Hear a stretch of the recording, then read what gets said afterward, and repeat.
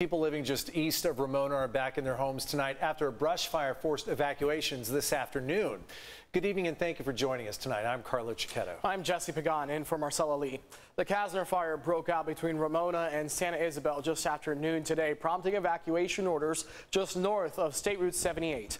Officials lifted those mandatory orders when firefighters topped the flames around 4 this afternoon. As CBS 8's Richard Allen shows us, fire crews are still working tonight, putting out hot spots.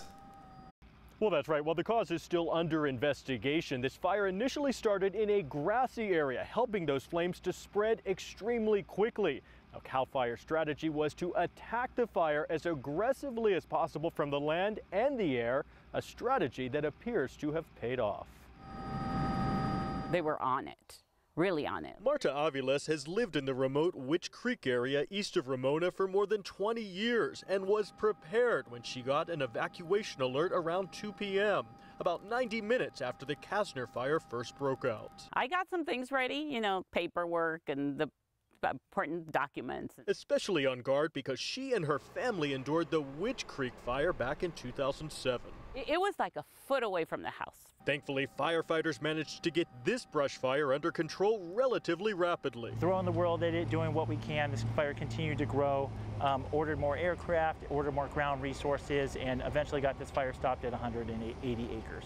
Wind and weather conditions, while not ideal, still managed to work in these firefighters' favor. Fortunately, the fire was moving northeast, away from the populated areas. It was breezy, but not as bad as it could have been, and really the, the humidity kind of kept it in check at least a little bit. Evacuation orders delivered by sheriff's deputies going door to door to about 20 homes were eventually downgraded to warnings. And while they were ultimately safe, this area is also home to a camel dairy, as well as plenty of other large animals. The one small spark, as everybody knows, can start this back up. That's something that firefighters are keenly aware of. They plan to be out here throughout the night and over the next couple days to make sure this fire remains contained.